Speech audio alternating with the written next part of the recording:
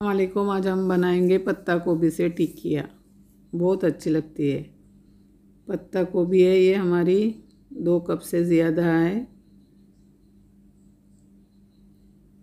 हम इसको नमक लगाकर दस मिनट के लिए रखेंगे। थोड़ा सा आधा टीस्पून हमने नमक लगाकर इसको मिक्स करके रखा है। ये देखिए, अभी हम अच्छे से इसको निचोड़ कर इसको पानी छूटा है, इसको निचोड़ कर दूसरे बॉल में डालते जाएँगे। सारा पानी इसका हम निकाल कर, ये देखिए हमने सारा पानी निकाला है।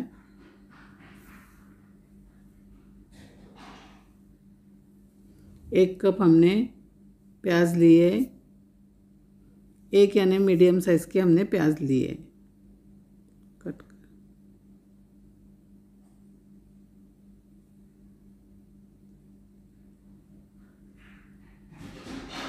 हरी धनिया है और हरी मिर्ची है।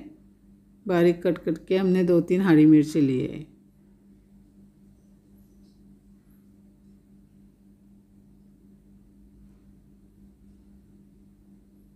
पाउडर मसाले है। आधा टीस्पून ज़ीरा पाउडर है। आधा टीस्पून हल्दी पाउडर है।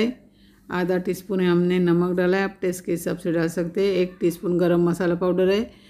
एक टीस्पून भुना कुटा। ज़ीरा, दर दरा पिसा हुआ, धनिया और ज़ीरा है। और एक टीस्पून चिल्ली फ्लेक्स है, एक टेबल स्पून लाल मिर्च पाउडर है।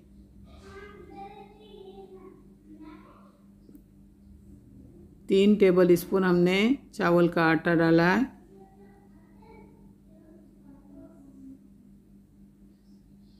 चार टेबल स्पून हम बेसन डालेंगे।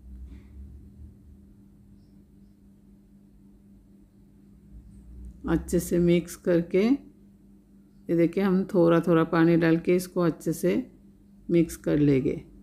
पानी लगेगा इसमें।